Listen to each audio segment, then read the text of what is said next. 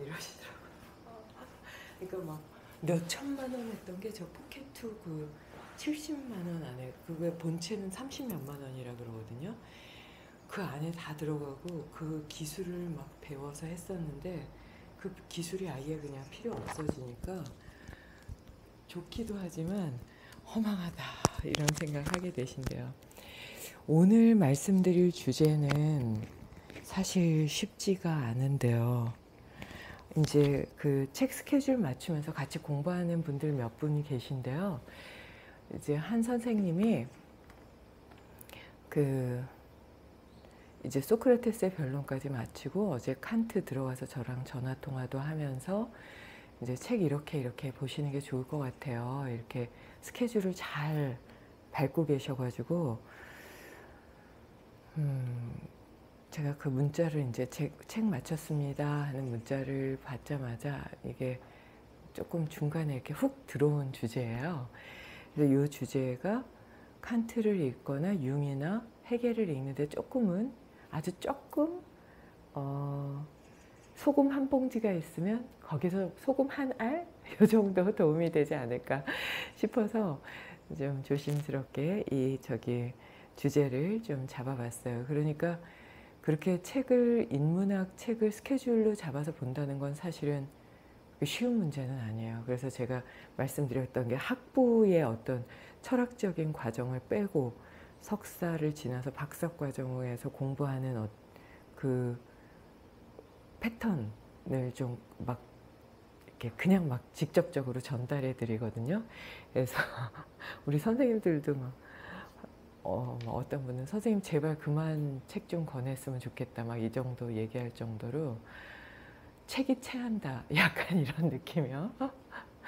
예, 근데 이제 거기에서 이런 개념을 조금씩 잡고 있으면 체하지 않는 소화제의 역할 그러니까 강력한 소화제는 아니고 편의점에서 파는 활명수 정도 활명수의 한 10분의 1을 마시는 정도 그 정도의 느낌은 있지 않을까 싶어서 전에 정해, 정리를 해봤는데요. 어, 이게 이제 우리가 많이 어, 헷갈리는 부분이기도 해요. 특히 철학이나 심리학에서 볼 때 저는 사실 지금 제가 이거를 강의하라 그러면 못할 것 같아요. 어렵고 정리가 잘 되질 않는데 김정욱 교수님은 아주 이쪽으로 유명하신데도 지금 70, 65세 아직 전혀는 안 하셨으니까 65세는 안 되셨는데 꽤 되셨는데도 사모님이 아직도 자기는 에고를 잡고 있어요? 이렇게 물어볼 정도로 평생 그 에고, 자 한, 하나를 공부를 하실 정도로 어려운 부분이에요. 저는 뭐 건드리기보다는 그냥 개념을 이렇게 정리하는 쪽으로 말씀을 드릴까 합니다. 그러니까 자아와 에고, 어, 자아, 에고와 셀프는 이게 완전히 다른데요.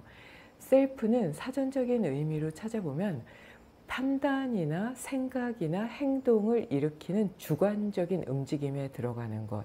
이게 셀프라고 보고요.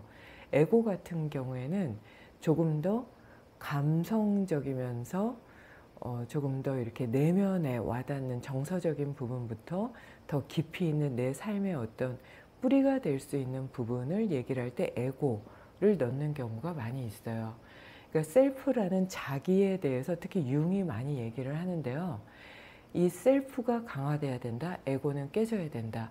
이걸 많이 강조해서 얘기를 해요. 그러니까 에고를 깬다. 무하냐, 비하냐, 자아냐 이렇게 이제 얘기하는 부분들은 보통 수행에서 많이 얘기를 해요. 그래서 삶에서 이건 내 거다 하는 어떤 습관을 확고히 할 때 자아에 대해서 많이 얘기를 하고요. 셀프라는 건 삶에서의 움직임, 소통의 문제라든지 거기에서의 나의 어떤 주관적인 부분들, 주체적인 부분들을 얘기를 할 때 그 자기에 대해서 많이 얘기를 하는데 그거는 어떻게 보면 융통성 있게 움직이면서 소통의 문제에 있어서 조금 더 겸허하게 자연과 또는 조금 더 나아가면 대우주와 소통할 수 있는 힘을 갖게 하는 어떤 한 부분이다. 이건 제가 이해하는 파트예요. 만약에 누군가 와서 어, 선생님 저는 에고에 대해서 이렇게 생각하는데 선생님 설명하신 거하고 완전 다르고 어 사전 보세요. 내용이 완전히 다른데요? 이러면 제가 뭐라고 그릴 것 같아요? 네 맞아요 이렇게 얘기할 거예요. 근데 또 한 분이 가지고 와서 아닌데요. 두 분의 말은 완전히 틀린데요. 제가 볼 때 그건 에고도 아니고 셀프도 아니에요. 다른 책에 이렇게 나와 있거든요. 이 책에 보세요. 라고 얘기하면 그 얘기가 이론을 위한 이론이 아니라 삶에서 정말 숨 쉬듯이 나오고 어, 절실하면서 정확하게 각, 자, 각자 각자 그 삶에서 느꼈던 어떤 때가 묻어지는 그런 힘이 있다면 저는 또 아 네 맞습니다 이러면 당신 도대체 뭐가 맞다는 거예요 그러면 각자 생각하는 에고와 각자 생각하는 어, 자기 셀프의 개념은 다 맞습니다 근데 그것이 이론을 위한 이론이고 단어를 위한 단어이며 모든 사람들의 책과 그런 내용을 짜집게 한 내용이면 저는 다 공감할 수 없다고 말씀드릴 것 같아요. 그건 에고도 아니고 셀프도 아니고요. 어, 그냥 단어의 엮어짐, 묻어남이거든요. 거기에는 피땀 눈물이 없기 때문에 별로 이렇게 음, 공감 가지 않아요. 이렇게 말씀드릴 것 같아요. 그러니까 학부를 졸업했냐 안 했냐 대학교를 갔냐 안 갔냐는 전혀 중요하지 않은 것 같아요. 어, 거기서 그냥 지식을 배워서 카피를 해서 그대로 전한다? 그건 그냥 AI죠. 그리고 내가 고민이 없는 거기 때문에 어, 가치가 없다고 느껴요. 그러니까 삶에서 어떤 한 스텝을 밟는데 그 단어 하나하나가 가치가 있다면 그거는 중학교 중퇴를 했어도 초등학교 중퇴를 했어도 가치가 있지만 박사가 몇 개여도 그냥 달달 외우는 암기 기계라면 그거는 무가치하다고 느껴지거든요. 그러니까 셀프나 에고도 바로 그렇다고 느껴요. 자기와 자아도 사회전적인 의미가 이렇고 많은 철학자들이 이렇고 깨달은 분들이 이렇게 말씀은 하셨지만 내가 삶에서 느끼는 나의 셀프와 에고의 개념은 이렇습니다라고 얘기할 때 그거는 굉장히 큰 가치가 있고 그것은 큰 폭으로 힘을 갖게 되지 않을까 싶거든요. 침묵의 성자인 마하라 마하리씨는 당신의 이름을 쓰지도 못했어요. 그렇지만 그분의 깨우침으로 인한 가르침은 수천 년, 수백 년을 이어갈 만큼의 힘을 갖고 있거든요. 수아미 라마라고 아주 천재적인 어, 그 요가 선생님도 바바지를 통해서 수아미 라마 선 어, 마하라 마하르시의 그 가르침을 배울 정도로 천재, 천천재라고 하는 아 이거 천천재 막 이러면 초등학교 때 막 얘기했던 나는 천천재야 막 이러면서 싸울 때 아주 유치한 그런 단어 선정이긴 하지만 너무 와닿아요. 그 초등학교 때 어떻게 그런 단어를 썼을까요? 저는 국민학교죠. 천천재 아니 천천천재인 그런 분들도 자기 이름을 못 쓰는 그분에게 가서 배웠거든요. 자기와 자아는 바로 이렇게 개념을 잡으시면 좋을 것 같아요. 여러분의 자기와 자아의 개념은 어떠신가요? 이게 이론을 위한 이론이라면 틀린 거고요. 다른 게 아니라 틀린 거고요. 어, 내가 확고한 삶의 개념으로 실천을 하면서 느낀 거라면 그 내용이 어떻건 한쪽 부분은 서로가 공감되는 어, 아주 좋은 가치로운 그런 단어가 될 것 같아요. 이런 자기와 자아에 대한 개념이 확고해지고 나면 그 다음에 emotion과 feeling에 대해서 한번 보실 필요가 있을 것 같은데요. feeling이라는 건 지극히 정서적인 부분, 감성적인 부분이기 때문에 어, 그 뒤에 해부학적인 부분과 생리학적인 부분은 움직이지 않는다.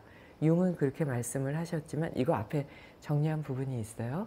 근데 그때 같이 공부한 박사가 아니 필링도 그런 정서적인 부분과 감성적인 부분으로 인해서 해부학 생리학적인 부분의 움직임이 있습니다.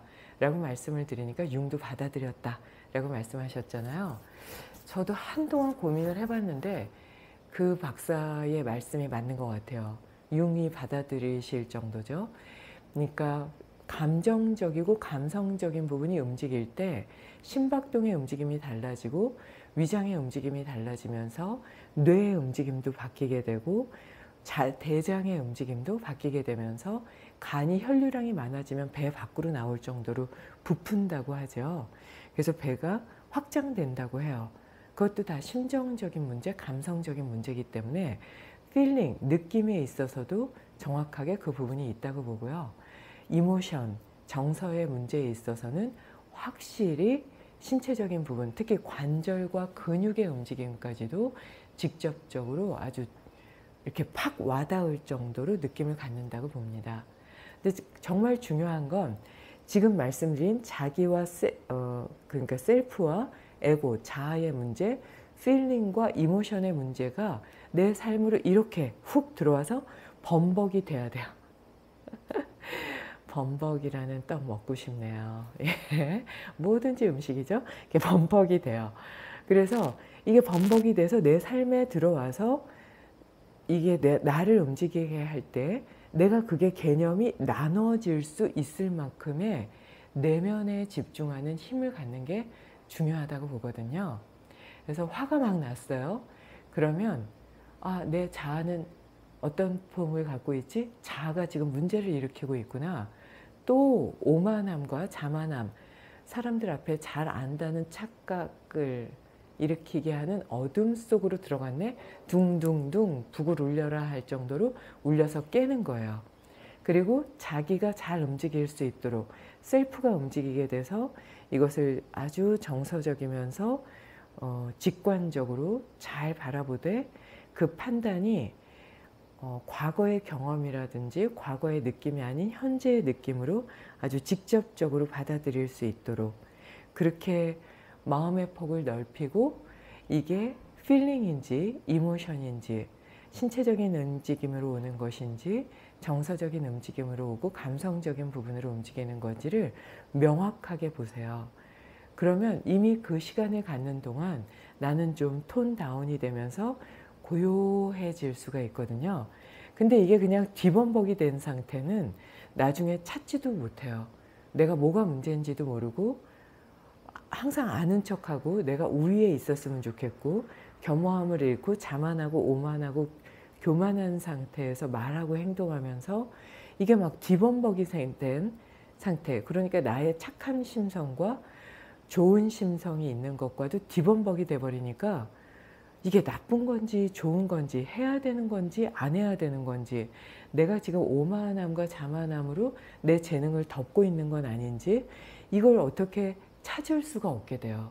그래서 항상 말하기 전에 그리고 말할 때 말하고 나서 이 말과 행동이 셀프의 움직임인지 자아의 움직임인지 셀프라면 긍정적이고 겸허한 부분 나를 살리는 부분으로 가고 있는지 아닌지 그리고 내가 몸의 움직임, 심박동이 올라가고 있는지 위장이 긴장돼서 꼬이는지 뇌의 움직임이 정지된 듯 그냥 멈춰 있는 듯 느껴지는지 하는 것들을 마치 글을 쓰듯 하나하나 하나 정리하시는 거예요.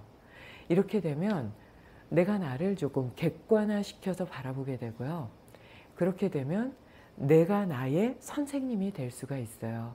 그래서 내가 선생님처럼 움직이면서 아 그렇게 하는 건 어, 별로 지혜로운 방법은 아닌 것 같아. 이 방법이 좋지 않을까? 라고 아주 친절하게 내가 나에게 내비게이션이 될 수가 있거든요. 그래서 이게 emotion인지 feeling인지 이런 어떤 분위기를 정확하게 느끼면서 자기, 자아, feeling, emotion, 뉘앙스를 파트를 나누어서 구분하는 거예요.